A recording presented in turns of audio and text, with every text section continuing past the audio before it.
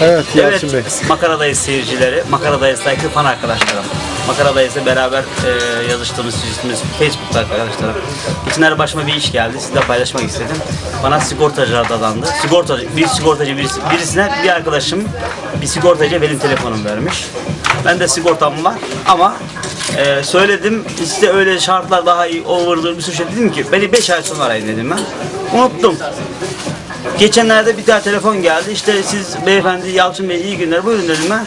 5 ay önce sizle konuşmuştum. Siz beni 5 ay sonra arayın demiştiniz. Gün doldu aradık dediler.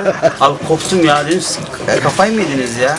Allah Allah. Yani yaptırmamak için hani onunla yaptırmamak için ayıp olmasın diye kibarca 5 ay sonra dedim yazmış ajandaya tam 5 ay sonra gün doldu diyor. Hadi yapalım artık sigortayı diyor. Çok komik geldi bana. İşten çıkmamış mı 5 ay boyunca? Abi inanamadım ya. Yazmış kenara bir yere. 5 ay hala çalışmış orada. Bugün doldu diyor. Tam 5 ay oldu diyor. Kardeşim onun mu işi gücü bıraktın benim be- benimle mi uğraşıyorsun? Ama notlarını iyi takip etmiş, seni iyi takip etmiş. demek. Evet o da ilginç. O da ilginç. Yani işini çok ciddiye almış. Ama benim şeyi anlamamış benim şey oldu. Bir de yani böyle ilginç şey- şeyler oluyor.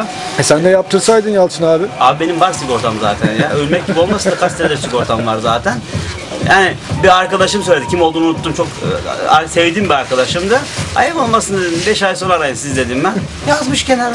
Bekliyor abicim. Tam 5 ay beklemiş. İyiymiş, Gün doldu diyor. prensipliymiş. Abi İşini gün seviyor. doldu deyince koptum zaten. ya dedim siz rahatsız mısınız dedim ya. Beyefendi dedim. Hanımefendi dedim.